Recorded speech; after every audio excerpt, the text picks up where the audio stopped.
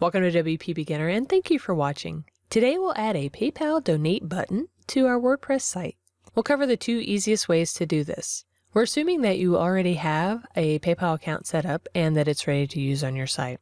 The first method is to use a plugin and we'll begin by installing and activating the PayPal Donations plugin. Then you can go to Settings, PayPal Donations to configure it. Make sure you fill all this out, especially your PayPal email address and all the other settings. And when you're finished, save your changes.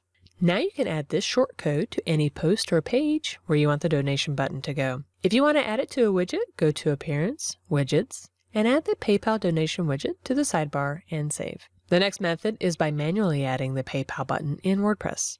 To do this, you need to go to your PayPal account, go to Tools, and click PayPal Buttons. Here we want to create a new button, fill out the information for it, and you'll see a website or email tab. If you choose the email code, you can customize it a bit more, so I'm going to copy that code. Next, let's go back to our WordPress site and edit a post or page where we want the donation button to go. I'm going to click on the text editor part and paste the code here. I'm going to replace this info with something I want to say.